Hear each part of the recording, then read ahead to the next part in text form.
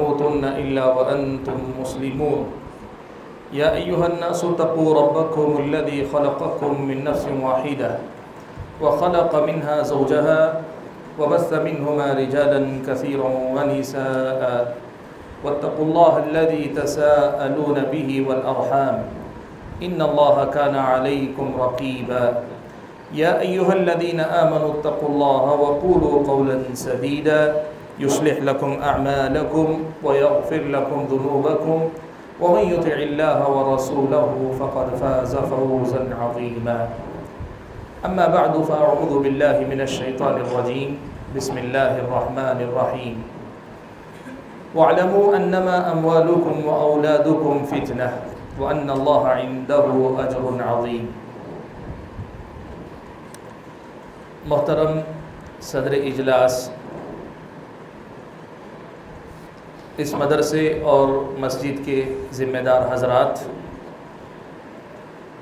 मजलिस में शरीक कराम, जमात व जमीयत की ज़िम्मेदार शख्सियात और शहर के आमादीन मेरे अपने बुज़ुर्गों और नौजवान साथियों और अज़ीज़ तलबा। मैं अल्लाह तबारक व ताली का इस अज़ीम नेमत पर सबसे पहले शुक्र अदा करता हूँ कि आज आपकी इस बस्ती में, आपके इस शहर में अल्लाह ताला ने मुझे हाज़िर होने का मौका दिया। और ये जो एक मदरसे की मुनासबत है, उसके अलावा दावती नुक़ नज़र से आपके अपने शहर का जो एक दुरूस का या ख़िताबात का सिलसिला चलता है, उसकी भी मुनासबत है। बैक वक्त इन दोनों मुनासबतों को इकट्ठा करने वाली इस मजलिस में अल्लाह तबारक ने शरीक होने का मौका अता फ़रमाया है।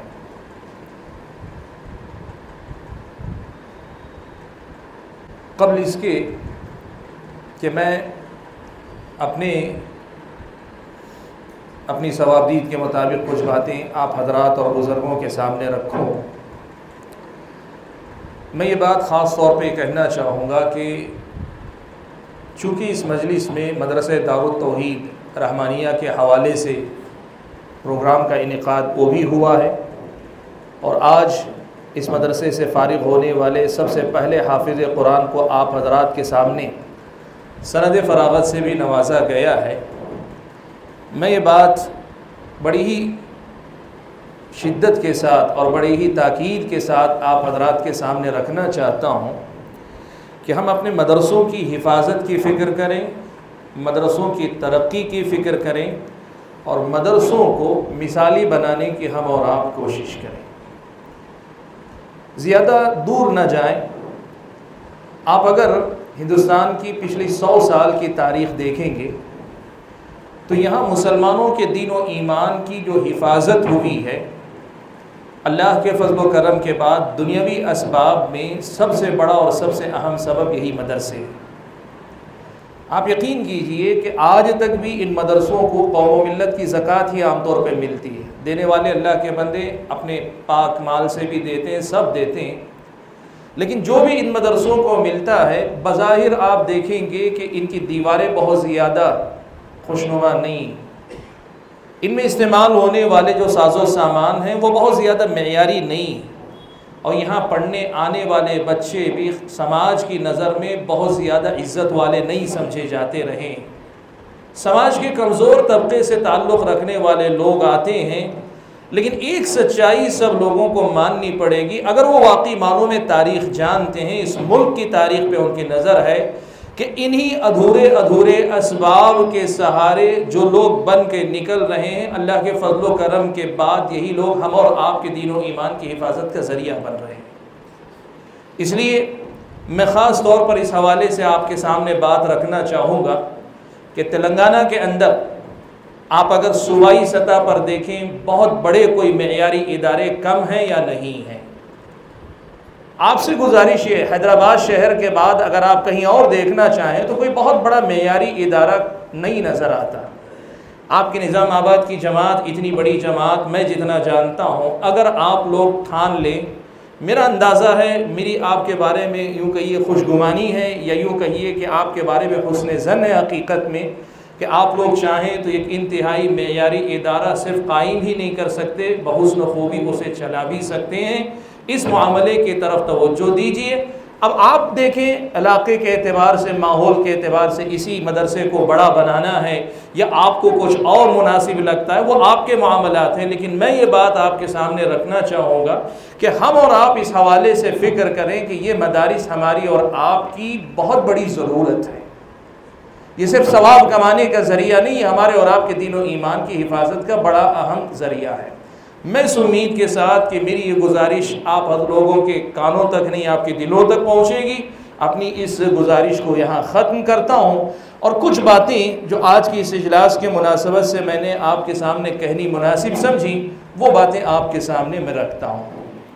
हाजिन गिरामी, हम दो सलात के बाद मैंने आप हजरात के सामने एक मुख्तसर सी आयत करीमा पढ़ी है, लेकिन कुरान मजीद की एक बड़ी ही अजीम आयत है। अल्लाह ने फरमाया वालमो और तुम जान लो फितना कि तुम्हारे माल और तुम्हारी जो औलाद है, ये फितना है, ये आजमाइश है। वह अल्लाह अजर अजीम और ये भी जान लो कि अल्लाह तबारक के पास, उसके पास बहुत बड़ा अजर है। इस आयत का जो पैगाम है, आज की मेरी सारी गुफ्तगु का खुलासा बस वही पैगाम है। अगर आप अभी समझ गए और मजलिस छोड़ कर जाते तो भी काफ़ी आपने पैगाम ले लिया है। लेकिन अगर आप समझना चाहते हैं कि यह आयत कितनी अजीम है तो यकीन मानिए, आज की मजलिस ने मैं और आप सारी ज़िंदगी इसको बरतते रहेंगे, उसी कदर ज़्यादा हम पर इस आयत के अंदर पोशीदा मानी और मतालिब खुलते जाएँगे। बड़ी अजीम आयत है कुरान मजीद की ये। आप और मैं ये बात जानते हैं कि औलाद अल्लाह तबारक ताली की बहुत बड़ी नेमत। दुनिया में अल्लाह ताला एक इंसान को जो नेमतें अता फरमाता है, उनमें औलाद बहुत ही बड़ी नेमत है।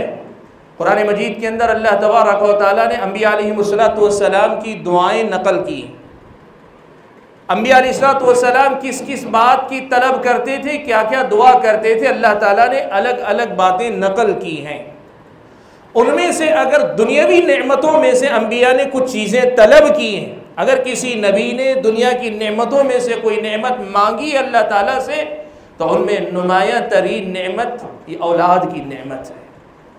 आप सोचें कि अम्बी सलाम अपनी और अपने लिए दुनिया की नमतों में से औलाद के तलबगार होते हैं तो फिर ये औलाद अल्लाह ताला की कितनी बड़ी नेमत होगी? हाँ ये और बात है कि हम में से बहुत सारों को अल्लाह ताला के एक तय करदा कुदरती निज़ाम के चलते शादी ब्याह के बाद साल में, दो साल में जब अल्लाह वक्त रखे, ये औलाद मिल जाती है। न नेमत मिलने का हमें एहसास रहता है, न उसकी अजमत का हम और आप तस्वूर कर पाते।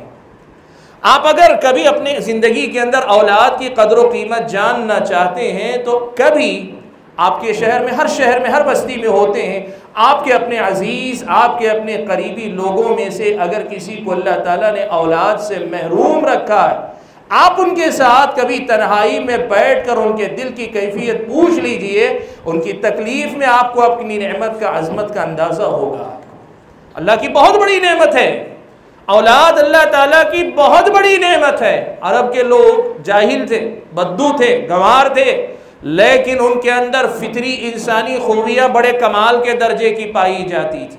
उनके अंदर शिरक था बुत परस्ती थी, गुमराही थी, अखलाक बिगड़े हुए थे, सब कुछ था। लेकिन फितरी खूबियों में, बड़ी खूबियाँ उन अरबों के अंदर बाकी अल्लाह ताला ने रखी थी। और उनमें से एक अजीम खूबी ये है कि वो अपनी औलाद को लेकर फ़ख्र किया करते थे कि मैं साहिब औलाद हूँ। जिस कदर ज़्यादा औलाद मेरी होगी, उसी कदर ज़्यादा मैं अपने आप को खुश नसीब और उतना ही ताकतवर समझता हूँ। और इस्लामी नुक़ नज़र हु बहु जाहिली ज़माने वाला नहीं रहा। लेकिन मसला वहीं का वहीं रहा कि अल्लाह के नबी ने कहा फ़न्नी मुकासिर शादी करो तो ऐसी खातून से करो कि जो बहुत ज़्यादा औलाद पैदा करने की सलाहियत रखने वाली हो कि कल रोज़ क़ियामत मैं तुम्हारी कसरत के ज़रिए फ़ख्र किया करूँगा। हाजिन गिरामी, मैं जो बात आपके सामने रखना चाहता हूँ कि ये औलाद जो कभी हमारी और आपकी जुस्तजू, तड़प, दुआ और लगन के बाद मिलती है कभी हमारी बहुत ज़्यादा तवज्जो तलब नहीं होती। अल्लाह के कुदरती तयशुदा निज़ाम के मुताबिक शादी के एक मुकर्रा मुद्दत के बाद हमें नसीब हो जाती है। याद रखें, ये नेमत हम और आपकी दुआ और अल्तजा के बाद मिले। या अल्लाह ताला के तयशुदा निज़ाम के मुताबिक गैर शूरी भी मिलती चली जाए। हर दो सूरत में ये हमारी और आपके लिए अल्लाह ताला का बहुत बड़ा तोहफा है, बहुत बड़ा इनाम है। लेकिन भाइयों जो बात आज आपके सामने मैं दोहराना चाहता हूँ या याद दिलाना चाहता हूँ वो ये कि ये औलाद जिस कदर ज़्यादा गैर मामूली नेमत है, उसी कदर बड़ी मेरी और आपकी ज़िम्मेदारी है। आज हमारे समाज के अंदर औलाद को ज़िम्मेदारी समझने का तस्वूर ख़त्म है या बहुत ही कमज़ोर है? हमारा मसला ये नहीं है कि हम औलाद की अहमियत को नहीं जानते, सब जानते हैं। जानते हैं कि औलाद औलाद ना हो तो फिर समाज माशरे के अंदर हमारे और आपकी नस्ल को बाकी रखने का कोई सिलसिला ख़त्म हो जाएगा। औलाद ना हो तो हम अपने आप को कमज़ोर महसूस करते हैं। दुनिया के जो सारे मफादात औलाद से जुड़े हुए वो सब हम जानते हैं, लेकिन अपनी औलाद को अपनी ज़िम्मेदारी समझना और ऐसी ज़िम्मेदारी समझना कि जिस ज़िम्मेदारी के नतीजे में अल्लाह ताला के पास जन्नत और जहन्नम के फैसले हो सकते हैं। हम अपनी इबादतों में कामयाब होकर अपनी औलाद के मामले में नाकाम करार पा सकते हैं। हम अपने अखलाक में बड़े ही बाखलाक होकर भी अपनी औलाद की तालीम और तरबियत के मामले में अल्लाह ताला के सामने जवाबदेह होने पर मजबूर हो सकते हैं। अल्लाह ताला हम और आप से, हमारी और आपके औलाद के बारे में हिसाबों किताब अलग से लेगा, ख़ास तौर पर लेगा। अल्लाह ताला सारी नेकियों के साथ इसका हिसाब ख़ास तौर पर लेगा। ये मसला हम और आपको याद रखना चाहिए। प्यारे नबी सल्लल्लाहु अलैहि वसल्लम ने इसी हकीकत को याद दिलाते हुए फरमाया था, कुल्लुकुम राइन व कुल्लुकुम मसूल रईयती तुम में से हर आदमी जिम्मेदार है और उससे उसकी अपनी ज़िम्मेदारी के बारे में पूछा जाने वाला है। हिसाब होगा, सवाल होगा। हम और आपको अल्लाह ताला के सामने जवाबदेही करनी पड़ेगी। सामना करना पड़ेगा। अल्लाह ताला पूछेगा, मैंने औलाद दी थी, एक दी थी कि दस दी थी, कम दी थी कि ज़्यादा दी थी? बहुत ज़्यादा अक्लमंद दी थी कि भोली भाली औलाद दी थी। लड़के दिए थी कि लड़कियाँ दी थी, लेकिन दी थी। इसका तुमने क्या मामला किया? क्या इस नेमत की तूने कदर की कि नहीं की? सुबह अल्लाह। मैं आपके सामने एक मसला बताना चाहता हूँ, जो एक फ़िकी मसला भी है, लेकिन उसके साथ साथ एक बहुत अजीम सबक मुझको और आपको देता है। एक मसला है, नए ज़माने में मेडिकल की दुनिया में ये होता है कि बच्चे की माँ के पेट में जो पैदाइश के मराहल होते हैं उस दौरान डॉक्टरों को पता चल जाता है मिशनरी के ज़रिए कि इस बच्चे की जहनी जहन की जहनी तख्लीक सही नहीं हो सकी है। या इसकी तख्लीक में कहीं कुछ खलल है कि वो बच्चा पैदा भी होगा तो एक नॉर्मल बच्चे की तरह ज़िंदगी नहीं गुजार सकेगा? ये डॉक्टरों का अंदाज़ा होता है, वो बताते हैं। यहाँ एक सवाल है आमतौर पर आपको पता है। आपको पता है, डॉक्टर आमतौर पर ये मशवरा देते हैं कि जब ये औलाद पैदा होकर कुछ नहीं करने वाली, खुद आपके ऊपर मसला बनने वाली है तो इसका इसकात करवा दीजिए। अगर इसको आप पहले ही ख़त्म कर देंगे तो उसके लिए भी रहमत है, आपके लिए भी रहमत है। डॉक्टरों का मशवरा आमतौर पर होता है। फ़िकी नाहिए से, दीनी नाहिए से शर्य नाहिए से मसला आप याद रखें। माँ की जान को अगर ख़तरा हो तो हो, वरना फिर ऐसे किसी भी बच्चे का इसकात इस्लामी शरीयत में इसकी इजाज़त नहीं है। अलम ने इसके पीछे जो हमत बयान की है, वो हम और आपको बतलाती है कि ये औलाद का मामला इस्लामी नुक़ नज़र से किस कदर मुख्तलिफ़ है। अलम ने लिखा है कि अगर अल्लाह ताला, अल्लाह ना करे, किसी बच्चे को नाकिस, किसी भी एतबार से नक्स के साथ पैदा करता है, उस औलाद को कबूल करके, राज़ी बरजा होकर उसे अपनाना और उसकी ज़िम्मेदारी को निभाना, ये ख़ुद एक आदमी की आजमाइश इम्तहान है। और हो सकता है कि इसी इम्तिहान में कामयाब होने के नतीजे में अल्लाह ताला उस बंदे के लिए जन्नत का फैसला फरमाते ये हमारी और आपकी औलाद, वो बज़ाहिर नाकारा है, दुनिया उसे बेकार समझती है, लेकिन इस्लामी नुक़ नज़र ये है कि उसमें जो आजमाइश होगी, तकलीफ़ होगी, आपको इलाज मुआलजे के लिए मेहनत करनी पड़ेगी। आप उस पर जो मेहनत करेंगे, इनमें से हर एक चीज़ आपको अल्लाह ताला के पास कामयाबी से हम हमकिनार करेगी। आप सोचें, दुनिया जिसे नाकारा, नामुकम्मल नाकिस समझ कर ख़त्म कर देने की बात करती है, इस्लाम उसके बारे में ये बताता है कि ये भी आपकी जन्नत का रास्ता होता है तो फिर ये हमारे और आपके सही सालिम बच्चे मेरे और आपके लिए जन्नत का कितना बड़ा ज़रिया बन सकते हम और आप अगर इस मसले को देखें, ये बड़ा अजीब मामला है कि हम और आप दो नाहिए से बड़ी मेहनत करते हैं। एक तो ये कि हम जहन्नम से बचना चाहते हैं, जन्नत में दाखिल होना चाहते हैं। उसके लिए बहुत सारी मेहनत करते हैं, इबादत भी करते हैं। मैं फ़राइज़ की बात नहीं करता, फ़राइज़ तो हर मुसलमान को कर रही नवाफिल की मैं बात कर रहा हूँ। कसरत से नवाफिल का अहतमाम करते हैं इबादतों में। अल्लाह ताला का तकर्रब हासिल करने के लिए खूब माल अल्लाह के राह में खर्च करते हैं। ज़क़़त तो देना है, ज़क़़त के अलावा की बात मैं कर रहा हूँ। आप कुरान मजीद की तिलावत करते हैं, जो फ़र्ज़ है आपकी नमाज़ में, उसके अलावा कसरत से नफिल आप कुरान की तिलावत कर रहे हैं। आप कसरत से इबादतों में लगे, खैर के सारे कामों में लगे हैं। लेकिन आप अपने बच्चे की तालीम और तरबियत से गाफिल हैं तो आप और मुझसे बड़ा नादान कोई नहीं हो सकता। आप यकीन करें हम और आप अगर अपने बच्चे की सही तालीम और तरबियत कर ले जाएँ, ये मेरे और आपके लिए जिस कदर बड़ा जहन्नम से नजात का ज़रिया बन सकता है, जन्नत में दाखिले का ज़रिया बन सकता है, इतना बड़ा और कामयाब और देर पा ज़रिया कोई और नहीं हो सकता है।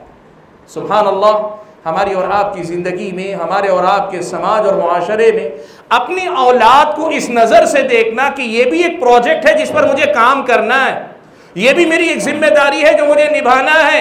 ये भी मेरी और मेरी एक मसरूफियत है। सुबह से शाम तक बच्चा क्या कर रहा है? उसका वक्त कहाँ गुजर रहा है? वो कैसे है? उस बच्चे के ऊपर नज़र इस माने में रखना कि डराने, धमकाने से ज़्यादा उसे इस दुनिया में जीने का सलीका सिखलाए। ये मेरी और आपकी ज़िम्मेदारी है। ये समझने वाले जहन आज बहुत कम हैं। आप यकीन करें, तालीम की बात हो कि तरबियत की बात हो, बहुत कम वालदेन हैं जो खुद अपने बच्चे की तालीम और तरबियत कर पाते हैं। वरना हमारे बच्चों की तरबियत तो गली कूचे करते हैं। हमारे औलाद की तरबियत तो स्कूल और कॉन्वेंट करते हैं। और अल्लाह ने तोफ़ी दी तो मदरसे में भेज दे तो मदरसे में करते हैं। और मदरसा अगर मैारी अच्छा रहा इस करते हैं। और अगर नहीं तो जहाँ बस, जहाँ वो मदरसा है, उस मदरसे में आने वाले बच्चे करते हैं। हमारी और आपकी औलाद की तरबियत, वो कारोबार के बाज़ार करते हैं, जहाँ हमारे और आपके बच्चे रोटी, रोजी रोटी कमाने के लिए जाते हैं।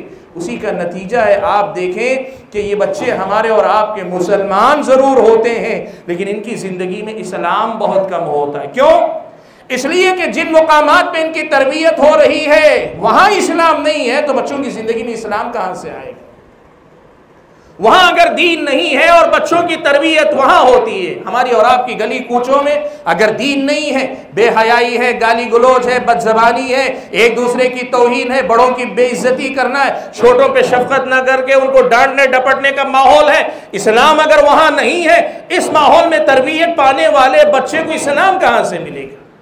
कि वो स्कूल जहाँ हम और आप अपने बच्चों को भेज रहे हैं, वो हम और आपको जबान सिखा रहे हैं, अंग्रेज़ी, उर्दू या हिंदी या कोई और जबान। आपके यहाँ तेलुगु कोई भी जबान सिखा रहे हैं। वो जबान सिखा रहे हैं, लेकिन वहाँ अगर अखलाक नहीं है तो मेरे और आपके बच्चे को तालीम के नाम पर ये जबान तो आ जाएगी, लेकिन जबान का जो अदब है, वो अदब तो उस बच्चे को नहीं आएगा ना।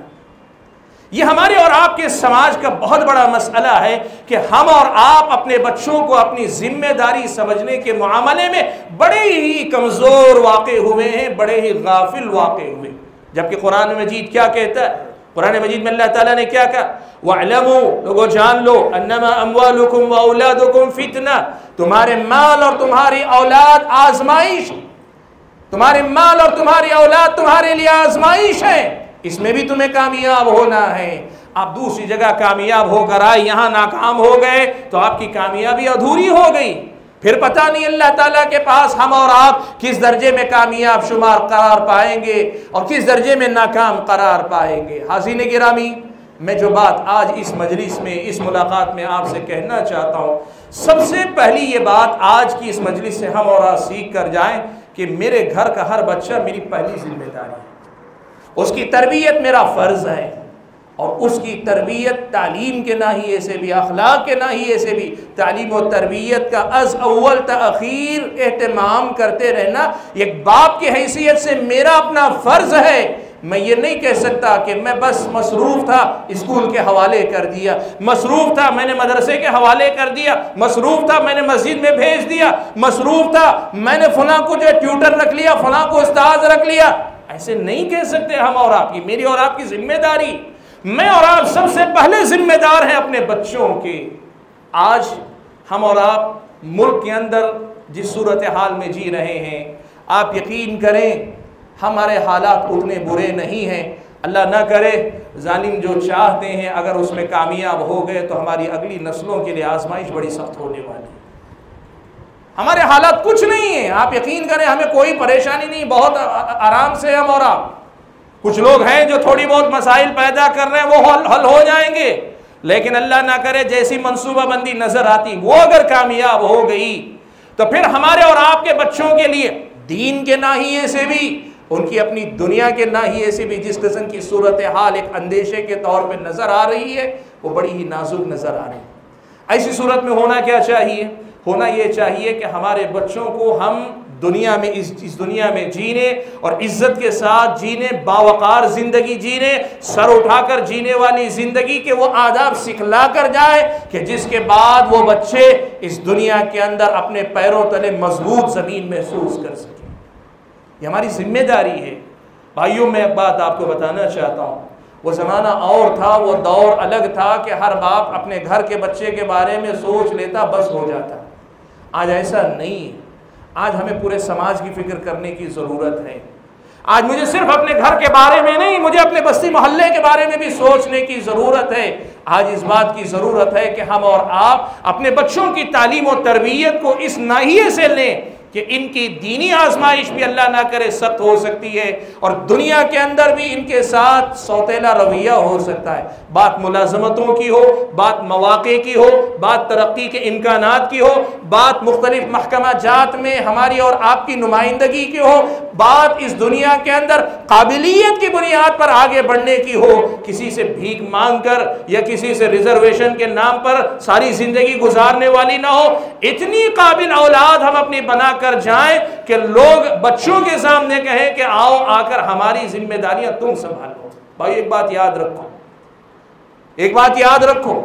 इस दुनिया में नफरत चाहे जितनी ताकतवर हो, लेकिन आदमी के अंदर अगर काबिलियत हो और आदमी मोहब्बत का पैगाम बन बर बन पैगाम बर बन कर जिए, पैगाम लेकर चलने वाला बने, नफरत हारेगी ज़रूर इस दुनिया के अंदर। उसके लिए ज़रूरत इस बात की है कि हम अपने बच्चों को बनाए ऐसा।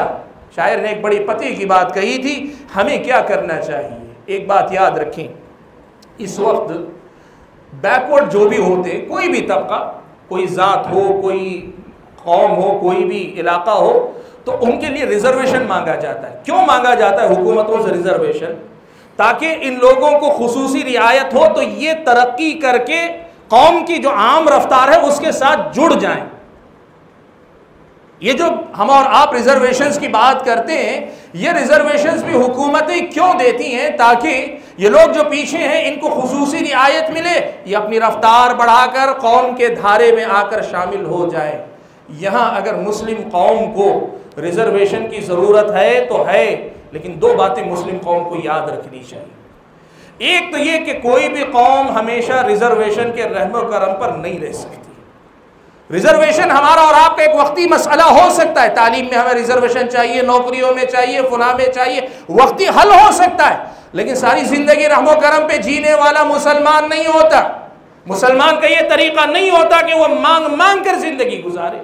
हालात का तकाजा है तो हम मांग रहे हैं, कह रहे हैं कि दूसरों के मुकाबले में हमें मुकाबला करने के मौके दिए जाए। लेकिन क्या सारी ज़िंदगी आज़ादी के बाद सत्तर साल पचहत्तर साल हो गए, पचहत्तर साल होने जा रहे हैं, अब भी हम रिजर्वेशन पर ही ज़िंदगी गुजारेंगे, कब तक चलेगी ये रिजर्वेशन वाली बात? और दूसरी बात ये भी याद रखो भाइयों, रिजर्वेशन जिसे हम और आप कहते हैं, ये मजबूरों का तरीका है। क्या हम वाकई मजबूर हैं? हम मजबूर कम हैं, गाफिल ज़्यादा है। हम मजबूर कम हैं, हमारी तवज्जो, तालीम और तरबियत के नाहिए से कम है। इसलिए जो बात, जो पैगाम आज आपके सामने मैं रखना चाहता हूँ, इस मुल्क के अंदर मुकाबला करने, इस मुल्क के अंदर सीना तान के जीने के लिए हम और आपको अपनी नई नस्ल को तैयार करने की ज़रूरत है। बात मुख्तसर करके मैं यहाँ वापस ला रहा हूँ कि मैंने जो बात कही, सिर्फ़ तीन बातें अब तक मैंने कही। पहली बात मैंने कही है कि हमारी औलाद अल्लाह ताला की बहुत बड़ी नेमत है जो अल्लाह ने हम और आपको दी। और दूसरी बात मैंने कही है कि ये जितनी बड़ी नेमत है, वो उतनी ही बड़ी ज़िम्मेदारी है। और इस ज़िम्मेदारी को हम और आपको दो नाहिए से देखना चाहिए कि दीनी एतबार से भी हमारा और आपका हिसाब किताब अल्लाह के पास होने वाला है और दुनियावी एतबार से भी दुनिया हमारा और आपका इम्तिहान ले रही है, आइंदा और सख्त लेने वाली है। हम कामयाब अगर होना चाहते हैं तो फिर हमें अपने बच्चों को संभालना पड़ेगा। कौम का हर बच्चा हमारी अमानत है, हमारी ज़िम्मेदारी है। उसके वालिदैन को होश नहीं होगा, लेकिन हमें तो है। उनके वालिदैन के पास पैसा नहीं होगा, लेकिन कौम के पास तो है। उनके वालिदैन के पास मुनासिब स्कूल नहीं होगा, लेकिन जिनके पास स्कूल है, उस बच्चे को मुनासिब स्कूल तक ला तो सकते हैं। हम अगर सोचें अपने बच्चों के लिए क्या ये सब नहीं हो सकता, वही बात मैं मदरसों के लिए भी कहूँ हम अगर अपने बच्चे को दीनी ना ही ऐसे तरक्की देना चाहते हैं, हो सकता है उनके वालदेन को तवज्जो ना हो। लेकिन क्या कौम मिलत के उलमा को अमाईदीन को जिम्मेदारा ने जमात और जमीयत को, बस्ती के अमाईदीन को क्या इसकी फ़िक्र नहीं कि इन बच्चों को मुनासिब मदरसे का मदरसा फराहम किया जाए? इनके लिए मुनासिब तालीम हो, मदरसे में मुनासिब इस हो, मुनासिब सहूलियात हो। ये कब हम और आप करेंगे? देखो भाइयों, जहाँ इस्लामी हुकूमत होती है ना हुकूमत कौम मिलत के इन सारे मसाइल की ज़िम्मेदार होती। है और जहाँ इस्लामी हुकूमत नहीं होती, वहाँ जो हुकूमत है, वो इसकी ज़िम्मेदार होती है। और अगर हुकूमत सौतेलापन करने पे अगर उतर आए तो फिर कौम मिलत के लोगों की ये ज़िम्मेदारी होती है कि हम अपने बल पे खड़े होंगे, अपने बल पे चलेंगे। हम रहमो करम पे कब तक जिएँगे? हम अपने बल पे खड़ेंगे। हमारे मदरसे हमारे अपने बल पे चलेंगे, हमारे अपने स्कूल, हमारे अपने बल पे चलेंगे। और मान लो स्कूल हमारे ना रह के किसी और के हुए, बच्चे वहाँ जाएँगे, लेकिन हमारे बच्चे हमारे बच्चे बनकर पढ़ेंगे। हमारे बच्चे हमारे बच्चे रहकर पढ़ेंगे। इसकी फ़िक्र हम और आपको करना पड़ेगी। हम और आपकी ये ज़िम्मेदारी बनती है कि हम और आप अपने बच्चों को इस नाइए से संभालने की कोशिश करें। हाजिन गिरामी, मैं आप हजरात के सामने मुख्तसर से एक खाका रख देना चाहता हूँ कि मौजूदा दौर में तालीम के नाहिए से हमारे पास इम्कान क्या हैं, सिस्टम क्या है, इस पर हम और आप देखें। दो नाहिए देखिए। सबसे पहले मैं आपके सामने बात करता हूँ उस तालीम की जिसे लोग दुनियावी तालीम कहते हैं, स्कूली तालीम। स्कूली तालीम ये जो तालीम है, इस तालीम में आदमी को, बंदे को क्या चीज़ें मिलती हैं? सबसे पहले नंबर पर बंदे को ज़बान मिलती है, लिखना, पढ़ना, और ज़बान की बुनियाद पर फिर दुनिया की बुनियादी जानकारी मिलती है, बुनियादी जानकारी मिलती है, और अगर कहीं स्कूल अच्छे हों तो उसके साथ, दुनिया के साथ मामला करने के आदाब भी थोड़े बहुत वहाँ सिखाए जाते हैं। इंसान इब्तदाई मरहले में सबसे पहले इन स्कूलों में यही चीज़ें सीखता है। एक या एक से ज़ायद ज़बान सीखता है। ज़बान के सहारे दुनिया के लोगों के साथ मामला करने के उसूल आदाब सीखता है, जिसको आप कम्युनिकेशन करना कहते हैं, रबिता हमवार करना, रबिता उस्तवार करना, जोड़े रखना, ये सीखता है। और उसके साथ साथ अगर तवज्जो दी जाती है किसी स्कूल के अंदर तो बच्चे के अंदर ज़िंदगी जीने के आदाब और तरीके बुनियादी कुछ आते हैं। और फिर उसके बाद होता क्या है? अगर बच्चा तालीमी मराहल में आगे बढ़ता है तो फिर वो मुख्तलिफ़ किस्म की महारतें मैदानों की पैदा करता है। वो साइंस के मैदान में, वो तिब के मैदान में, वो इंजीनियरिंग के मैदान में, वो मुख्तलिफ़ मैदानों में महारतें पैदा करता है। इन महारतों से दो काम वो कर सकता है बच्चा। एक काम तो ये है कि वो अपने लिए, अपने ख़ानदान के लिए रोज़ी रोटी कमाने का सबब बन जाता है। जो भी उसके पास महारत आ रही है। लेकिन ये कब आती है? जब आला तालीम की तरफ़ बंदा जाए। ऊपर की और ज़रा आला, आप यूँ कहिए, टेंथ के बाद, प्लस टू के बाद, बारहवीं जमात के बाद, और ज़रा ऊँची तालीम हासिल करता है तो फिर बच्चे के अंदर कुछ महारतें आती हैं। कुछ टेक्निकल ट्रेनिंग की भी आती है बात, या फिर सिर्फ़ पढ़ने के ज़रिए? आर्ट्स हो साइंस हो जो सब्जेक्ट चाहे ले, उससे दो चीज़ें बंदे के अंदर आती। एक तो ये है कि ऐसा बच्चा ऐसा बच्चा जो आला तालीम हासिल करता है, अपनी रोज़ी रोटी का इंतज़ाम करने के काबिल हो जाता है, एक। और दूसरा फ़ायदा ये कि जिस मैदान की उसके अंदर महारत है, उस महारत के ज़रिए समाज और माशरे का वो फ़ायदा करता है। डॉक्टर बनता है तो अपनी रोज़ी रोटी कमाता है, लेकिन समाज के अंदर जो मरीज़ हैं, उनका इलाज मुआलजा करता है। साइंटिस्ट बनता है तो अपनी रोज़ी रोटी का इंतज़ाम करता है, लेकिन साइंस के ज़रिए, तहकीक और इख्तरात ईजादात के ज़रिए समाज के अंदर आसानियाँ और तरक्की के रास्ते हमवार करता है। ये जो दुनिया की तालीम है, इस दुनिया की तालीम का खुलासा बस इतना है। आप इस बात को समझ लें क्यों? इसलिए कि हमारे और आपके जो वालिदैन हैं, सरपरस्त हजरात हैं उनको ये नहीं समझ में आता कि किस जगह भेज कर हमें क्या हासिल करना चाहिए। आज तालीम का मतलब लोग सिर्फ़ एक जानते हैं, वो क्या है? तालीम हासिल करने के बाद बच्चा कितना रुपया कमाएगा? कितना रुपया कमाएगा? याद रखें अगर स्कूली तालीम भी हासिल कर रहा है तो ज़रूरी नहीं कि उसी से रोज़ी रोटी कमाए। लेकिन अगर रोज़ी रोटी उससे कमाता है, तब भी वो एक जानबी मकसद है, वरना इस स्कूली तालीम के अंदर भी बच्चे के कई एक मकासद पूरे होते हैं। मैंने जैसे कहा, इब्तदाई बुनियादी तालीम स्कूल से अगर होती है तो फिर ज़बानें सीखता है। ज़बानों के ज़रिए दुनिया की बुनियादी जो मालूम हैं, दुनिया के साथ जीने का सलीका सीखता है। और अगर कुछ मॉरल एजुकेशन जिसे कहते हैं, अखलाकी तालीम तो मुख्तलिफ़ किस्म की महारतें सीखता है, जिनसे दुनिया वालों के साथ मामलात करने की उसूल आदाब उसे आते हैं। आला तालीम अगर हासिल करता है तो आला तालीम उसके लिए माश का हल भी देती है और उसके साथ साथ दुनिया के हक़ में उसे एक मुफीद इंसान बना देती है। इस्लामी शरीयत इस सिलसिले में क्या कहती है? ऐसी तालीम के बारे में इस्लामी शरीयत क्या कहती है? इस्लामी शरीयत का उसूल बहुत ही सादा है, बहुत ही सीधा है। खैरन्नास मैनफ़न्नास लोगों में सबसे अच्छा इंसान वो है जो लोगों के लिए नफ़ा बख्श बन सके। लोगों में सबसे अच्छा इंसान वो है जो लोगों के लिए नफ़ा बख्श बन सके। आप और मैं ये तालीम जो हम और आप हासिल करते हैं, ये स्कूल की तालीम जो कुछ हम पढ़ते हैं, आज हमारे और आपके समाज का एक बहुत बड़ा अलमिया क्या है पता है आपको? हमारे बच्चे जितनी तालीम हासिल करते हैं, उस तालीम से सिर्फ़ बुनियादी कुछ बातें उनके अंदर आती हैं, ज़बान सीख लेते हैं, समाज के अंदर रबते के मुख्तलिफ़ जो ज़राए हैं, उनके अंदर उनको जीने का सलीका आ जाता है, कुछ बुनियादी अखलाकी तालीमत आ जाती हैं इससे ज़्यादा वो आगे नहीं बढ़ पाते। नतीजा क्या है? उनकी तालीम, उनके माशी स्टेटस को, उनकी माशी सूरत हाल को भी ऊँचा नहीं कर पा रही है। और उससे आगे बढ़कर ये लोग समाज के हक में मुफीद हो जाएँ, समाज के मुहसिन बने, समाज को देने वाले बने, समाज को संवारने वाले बने, ऐसे हमारे और आपके बच्चे नहीं बन पा रहे। हैं इसका सीधा मतलब क्या हुआ? इसका मतलब ये हुआ कि स्कूल की तालीम जिस मरहले तक भी हमारे बच्चे हासिल कर रहे हैं, ये अधूरी है, नामुकम्मल है। हमारे यहाँ एक जहन है। बच्चा टेंथ पढ़ ले, बच्ची टेंथ पढ़ ले, काफ़ी हो गया, बच्चे ने पढ़ लिया। ट्वेल्थ पढ़ ले, उसने पढ़ लिया। आप ये बात समझे, समाज की अब जो सूरत हाल है, ये टेंथ और ट्वेल्थ की तालीम उसे माश भी नहीं दिला पाएगी। छे जाए कि वह समाज के हक में मुफीद बनने के दर्जे तक पहुँचे। हम और आपको अपने बच्चों को तालीम किस मरहले तक दिलानी चाहिए। उस मरहले तक जहाँ हम कौम को, दुनिया को लेने से ज़्यादा देने वाले बन सके।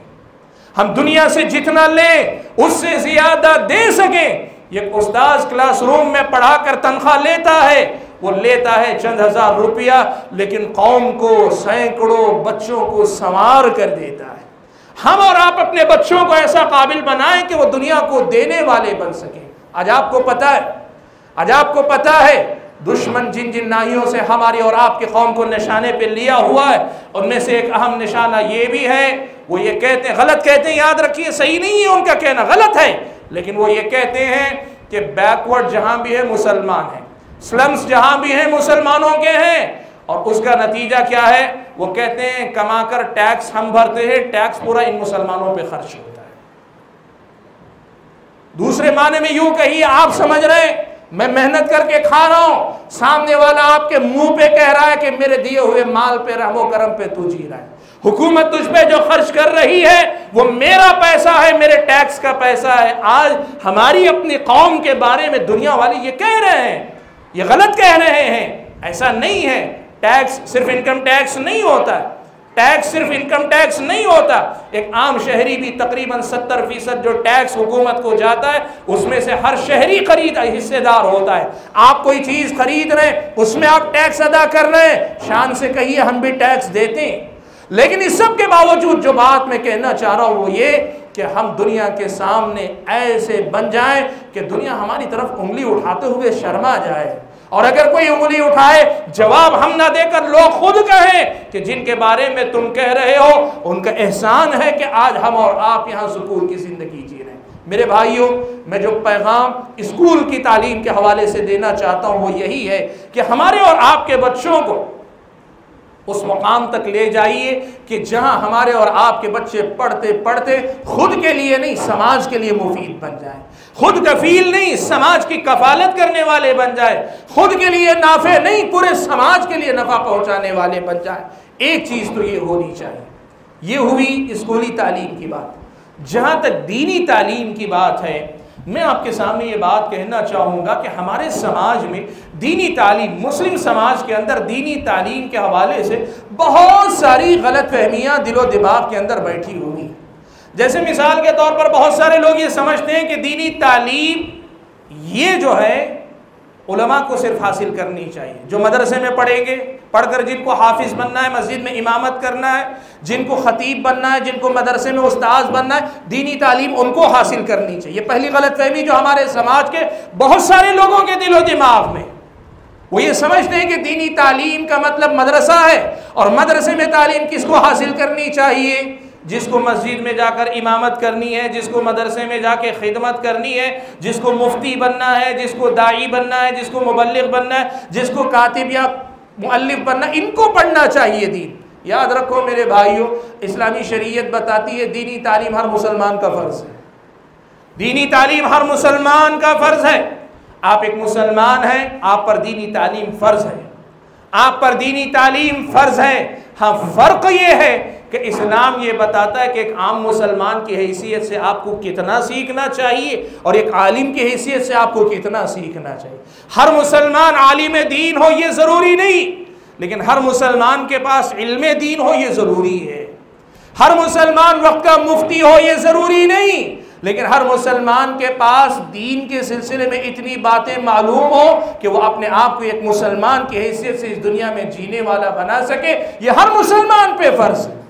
ये पहली गलत फहमी है जो हमारे समाज में। इसीलिए देखें, हमारे अपने घरों में होता है। हमारे बच्चों में से वालदेन के अंदर जज्बा होता है, एक बच्चे को मैं आलिम ज़रूर बनाऊँगा। उस बच्चे को मदरसे में भेज दिया और बाकी बच्चों को स्कूल में भेज दिया। दीनी तालीम बच्चे को क्या दी? कुछ नहीं। स्कूल में भेज दिया मैंने। मैंने एक बच्चे को दुनिया पढ़ाई है, एक बच्चे को मैंने दीन पढ़ाया है। गलत नहीं किया आपने, लेकिन पूरा नहीं किया आपने। आपने काम अधूरा किया।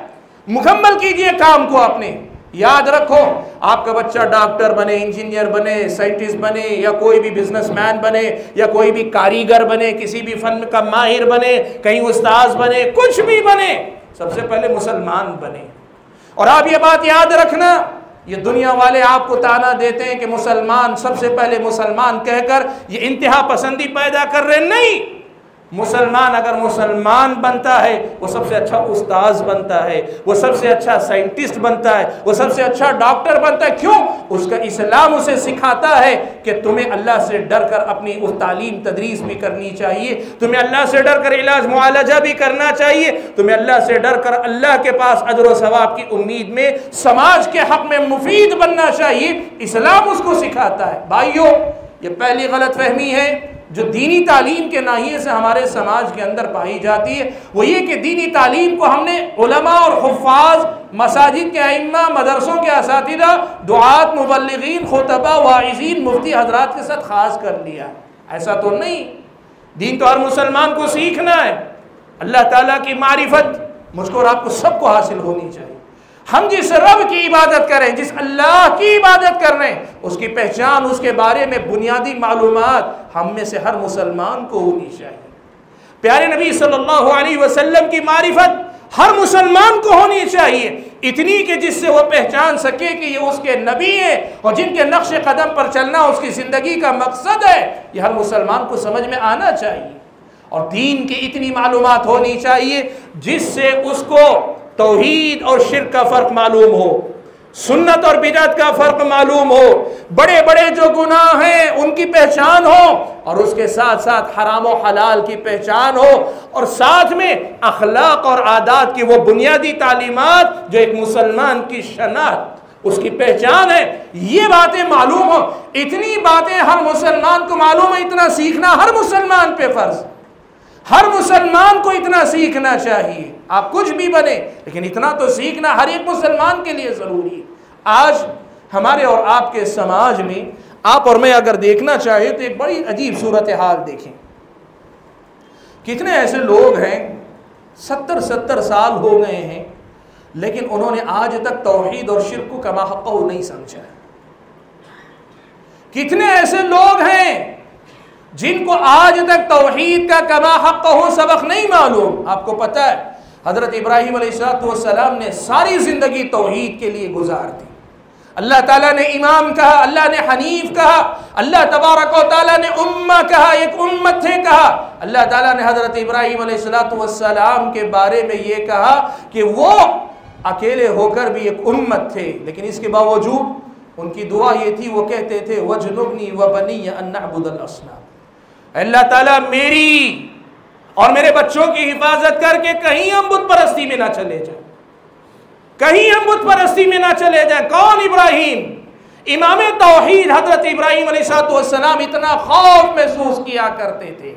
वो जो तोहीद जानते थे, मानते थे, दुनिया को सिखाते थे, सारी ज़िंदगी तोहीद ही के लिए गुजारी, उनको ये डर है कि कहीं शिरक मुबतला ना हो जाए। इतने गहरे इल्म और अमल के बावजूद तोहहीद के मामले में इतना डर है। आज हम और आपके अंदर के हज़रत इब्राहिम वाली तोहहीद है कि हज़रत इब्राहिम को जितना गहरा इल्म तोहहीद का था, उतना है। वो नहीं होकर भी सवाल ये पैदा होता है, हज़रत इब्राहिम के दिल में बुत परस्ती के दाखिल हो जाने का जो डर था, क्या उस किस्म का डर हमारे दिल में है? इसका मतलब क्या हुआ कि हमने तोहीद को, तोहीद की गहराई को, उसके नुकसान को कमा हक को हमने नहीं पहचाना। अगर पहचाना होता तो क्या करते? वही करते जो हज़रत याकूब ने किया। क्या किया? अमकुन तुम शुहदा याकूब मौत। याकूब के पास जब मौत का वक्त आया तो तुम मौजूद। उन्होंने अपने बच्चों को वसीयत की। पूछा माताबुदून मिम्बादी ये बच्चे कौन है? आपको पता है। हज़रत याकूब के बेटे कौन है? हज़रत याकूब के बेटे कौन है? आपको पता हज़रत यूसुफ सलाम है और उनके भाई हैं। हज़रत याकूब सलाम अपने बेटों को वसीयत करते हुए जाते हैं कि, बताओ, मेरे जाने के बाद तुम किसकी इबादत करोगे? मेरे भाइयों अम्बिया तोहीद इतने एहतमाम से सिखाते हैं। हम क्या अपने बच्चों को तोहीद सिखा रहे हैं? क्या हम और आप दीन उतनी गहराई से सीख रहे हैं कि तोहहीद का वो जज्बा हमारे अंदर हो? आज हमारा अलमिया क्या है? तोहहीद तो तोहीद शिरक नहीं जानते, तोहीद नहीं जानते। नतीजा ये है कि बहुत सारे हमारे अपने भाई में कहूँ साफ़ लफ्ज़ों में अल हदीस अपने आप को कहते हैं, सलफ़ी कहते हैं, काम मुशरकाना इनके घरों के अंदर होते रस्म रिवाज मुशरकाना इनके ख़ानदान कबीले में जारी रहते कैसे हो सकता है कि तोहीद वाले और आपके घर में तोहीद का जनाजा निकले? ये तो नहीं होना चाहिए ना। सुन्नत और बिदत का फ़र्क हमें मालूम होना चाहिए। हम और आपको हराम हलाल का फ़र्क मालूम होना चाहिए। हम और आप में से हर बच्चे को अखलाक बुनियादी मालूम होने चाहिए। हम और आप में से हर बच्चे को, हर मर्द को, हर औरत को उसके बुनियादी वाजिबात क्या हैं, फ़राइज़ क्या हैं, उसे मालूम होने चाहिए। उस पर क्या क्या हक वाजिब होते मालूम होने चाहिए। आज हमारी दीनी तालीम और तरबियत के नाइए से बड़ी गफलत पाई जाती है। भाइयों, सवाल यह है कि कैसे हम इसका तदारुक कर सकते हैं? देखें, हमारे और आपके समाज में तीन किस्म के इंतज़ाम पहले दो किस्म के होते थे, अब आजकल तीन किस्म के इंतज़ाम मदरसे की शक्ल में नज़र आते हैं। तीन किस्म के मदरसे हमारे समाज में इस वक्त है, पहले दो होते थे, अभी आजकल देखने में आ रहे हैं तीन किस्म के मदरसे। पहला मदरसा वो, जिसे हम मकतब कहते हैं। मकतब। मकतब जिसे हम कहते हैं, पहला मदरसा, माँ की गोद से लेकर मस्जिद की चार चटाई तक वो मकतब है, चाहे बच्चे को जहाँ से आप तालीम दें। एक पहला मदरसा है। दूसरा मदरसा जो पहले से था, वो मदरसे हैं बाकायदा, जहाँ तलबा को लाकर आलिम दीन बनाया जाता है। याद रखो मेरे भाइयों, हमारे समाज को मकतब की भी ज़रूरत है, हमारे समाज को मदरसों की भी ज़रूरत है। मकतब है ये सोचकर आप मदरसों से गाफिल ना हो, और मदरसा बड़ा है ये सोचकर मकातिब की तरफ़ से गाफिल ना हो। इसलिए कि जो ज़रूरत मकतब से पूरी होती है, वो मदरसों से पूरी नहीं होती। हर बच्चा मदरसे में नहीं जाता, लेकिन हर बच्चे को मकतब में ज़रूर आना चाहिए। हर बच्चा मकतब में आना चाहिए। मकतब की तालीम हर बच्चे को मिलनी चाहिए। आप ये बात ठान लें। आज अगर आपने कुछ नहीं सुना, कुछ नहीं समझा, अगर आज आपने ये तय कर लिया कि शहर निज़ामाबाद के अंदर कोई मुस्लिम बच्चा मकतब की तालीम से महरूम नहीं रहेगा। आप यकीन करें, अल्लाह के फजल करम के बाद आपने अपनी कौम की किस्मत के हक में एक बेहतर कदम उठा लिया है। कोई बच्चा कौम का मकतब की तालीम से महरूम नहीं रहना चाहिए। मैं आपको बताऊँ, तीसरे किस्म के मदरसे आज हमारे पास है। वो क्या है?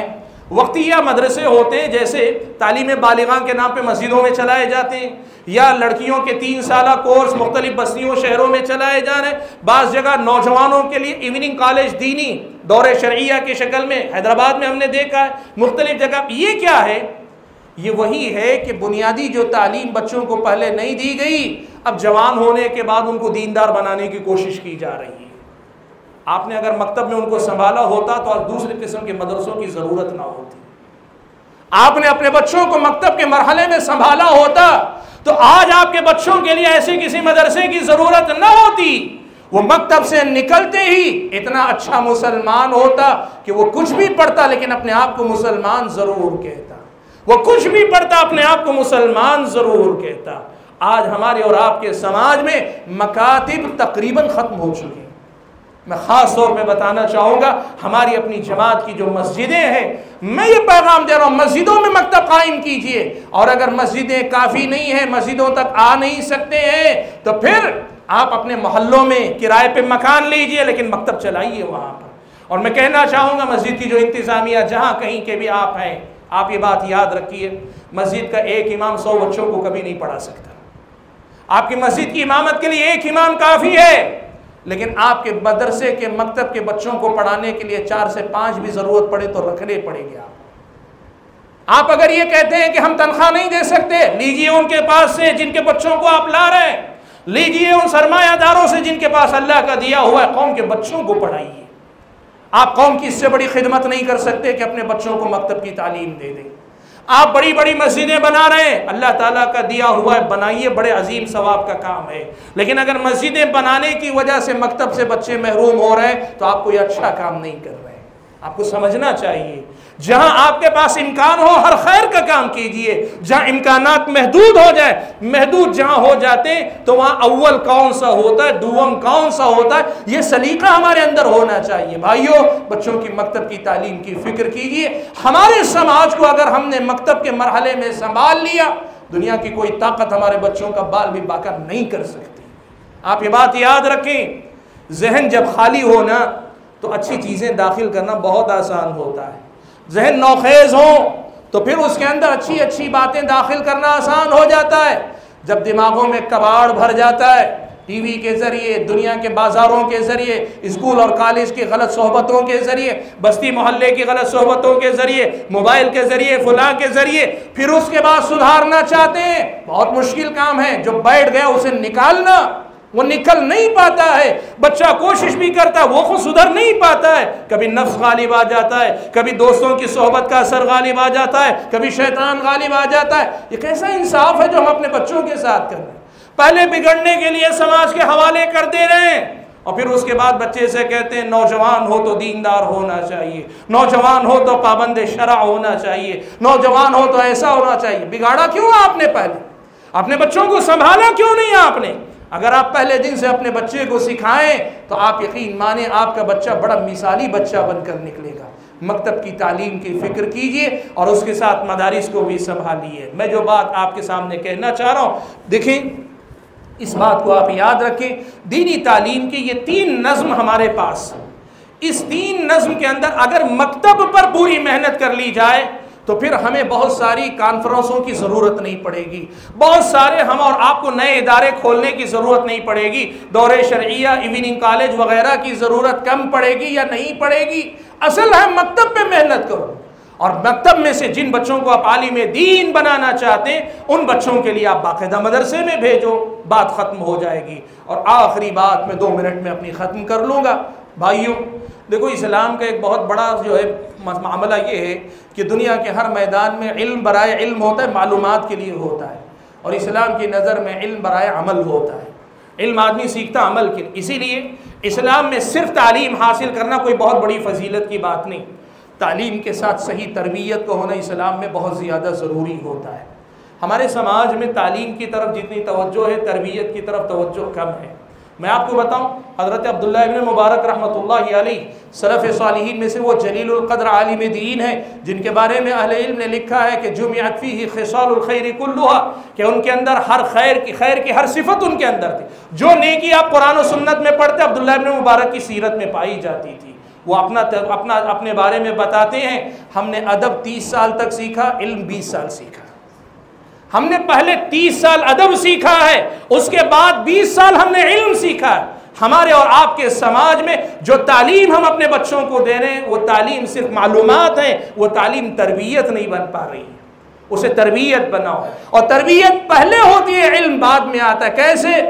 जैसे आप जानते हैं, खेती करने से पहले ज़मीन को हमवार किया जाता है, ज़मीन को काबिल काश बनाया जाता है। कभी उसके अंदर कोई ताकत कम हो तो बाहर से कुछ चीज़ें, कुछ बाहर से अद्वियात मिलाकर उसके अंदर सलाहियत बढ़ाने की कोशिश की जाती है, फिर उसके बाद बीज बोया जाता है। बिल्कुल इसी तरह, इल्म देने से पहले तरबियत करना, बच्चे की जो है उसकी ज़मीन को सुधारने, संवारने जैसी बात है। इसलिए तरबियत पर पहले मेहनत करें और दूसरी बात इसी से में कहना चाहूँगा, और तरबियत ज़बान से नहीं होती। तरबियत प्रैक्टिस से होती है, अमली मश्क से होती है। आप बच्चे को कहें, सुबह शाम के अजकार, सुनाओ, वो सुना देगा। लेकिन तरबियत ये है कि बच्चा सुबह उठे तो आप, जब तक वो आदि ना हो जाए, उस वक्त तक रोज़ाना नज़र रखेंगे, बच्चा पढ़ रहा है कि नहीं पढ़ रहा है। आप बच्चे को सिखा दें दुआएँ अभी नमाज़ की दुआएँ बच्चे ने बड़े प्यारे अंदाज में सुनाई, बहुत अच्छे अंदाज में। तो बहुत अच्छा है। लेकिन आप इसमें नज़र रखें कि क्या बच्चे की नमाज़ में बाकायदा है वो सब चीज़ें। डराए नहीं, धमकाए नहीं। नमाज़ के बाद हाथ पकड़कर चुपके से पूछ लें, बेटा, हर नमाज़ की, हर रुकन की बराबर बराबर दुआ पड़ी या दिमाग इधर उधर था? बच्चा अगर मोहब्बत से पूछे, वो सच बताएगा। आप उसकी तरबियत करें। हमारे समाज में इल्म की तरफ़ तवज्जो है, तरबियत की तरफ़ तवज्जो कम है। और तरबियत कैसे होती है? तरबियत ऐसे होती है कि ज़बान से सिखाने से ज़्यादा अमली मश्क में बात रखी जाए। और आखिरी बात ये कि हम जो कुछ कहते करते हैं, सबसे पहले ख़ुद को नमूना बनाएँ। हम खुद को नमूना बनाएँ। हम अपने आप को नमूना बनाएँ। बच्चे को नमाजी बनाना है, नमाजी खुद बने। बच्चे को इल्म वाला बनाना है, अपने आप को इल्म से मोहब्बत करने वाला बनाए। आप अपने बच्चे को इल्म वाला बनाना चाहते हैं, लेकिन आपका ना इल्म की सोहबत, इल्म की मजलिसों से ताल्लुक़ है, उलमा से ताल्लुक़ है, इल्म के मसाइल से आपका ताल्लुक़ कुछ ऐसे नहीं होता। आपको इल्म वाला नहीं तो इल्म वालों से मोहब्बत करने वाला बनना चाहिए, तब आपका बच्चा इल्म वाला बनेगा।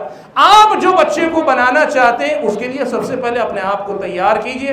हाजिन गिरामी, ये कुछ बातें थी। और हकीकत ये है कि जो वक्त मुझे दिया गया था, उससे पाँच सात मिनट मैंने ज़्यादा ले लिए। लेकिन जो पैगाम मुझे देना था, वो यही था कि इस मदरसे और इस मस्जिद के अंदर और यहाँ से लेकर आपके शहर के हर हर कूचे, गली कूचे तक ये पैगाम पहुँचाइए कि हमें इस वक्त इन बातों पर पूरी तवज्जो देने की ज़रूरत है। अब वो मौका नहीं है कि बोले, मैं, हम मदरसा ही बनाएँगे, हम स्कूल ही बनाएँगे, अब सब बनाना है, सब करना है। जिसको जहाँ हिम्मत बनती है, वहाँ आगे बढ़े, मेहनत करें। लेकिन कौम की ज़रूरतों को समझ कर उनको पूरा करने की कोशिश करें। मैं अल्लाह ताला से दुआ करता हूँ कि अल्लाह ताला मुझे और आप सभी हजरात को, आप सभी बुज़ुर्गों को, आप सभी अमायदीन को, ज़िम्मेदारान को और आप सभी कराम को और मुझको कहने और सुनने से ज़्यादा अमल करने की तोफ़ी अता फ़रमाए। अल्लाह तबारक ताली हमारी कौम मिलत का वाली और मौला हो जाए, वही ज़िम्मेदार हो जाए। फ़नमल मौला व नमल वकील। मैं अखीर में बरदर अज़ीज़ इमरान सलफ़ी नज़ीरी का शुक्रिया अदा करता हूँ कि तबीयत नहीं आमदा थी इतने लंबे सफ़र के लिए। ख़ास तौर पे लॉकडाउन और बीमारी का ये माहौल। लेकिन उनका इसरार था कि उनके इसरार के नतीजे में मुझे आना पड़ा। मैं उनका शुक्रगुजार हूँ और उनके साथ जो उनकी कमेटी, उनके मुतल हजरात, जो भी मुतावरीन हैं, सबका मैं अपनी तरफ़ से शुक्रिया अदा करता हूँ। और आखिर में आप सभी हजरात का शुक्रिया अदा करता हूँ कि बड़े सब्र ज़ब्त के साथ आपने मेरी गुफ्तु समात की। गुजारिश ये करता हूँ कि बात अगर समझ में आई है तो अपने दिल तक न रख कर हर दर तक पहुँचाइए, हर घर तक पहुँचाइए, ताकि ये पैगाम जहाँ तक पहुँचे खैर हर जगह से उठे। एक ना एक दिन वो खैर लौट कर हमारी ही तरफ़ आएगा। हम सब उस खैर से फ़ायदा उठाएँगे। अल्लाह ताला हम और आपको दुनिया में जब तक रखे, ईमान और इस्लाम पर कायम रखे और जब अपने पास बुलाए तो ईमान की हालत में बुलाए। आमीन आखिर दावाना अलहमदिल्ला रबालमीन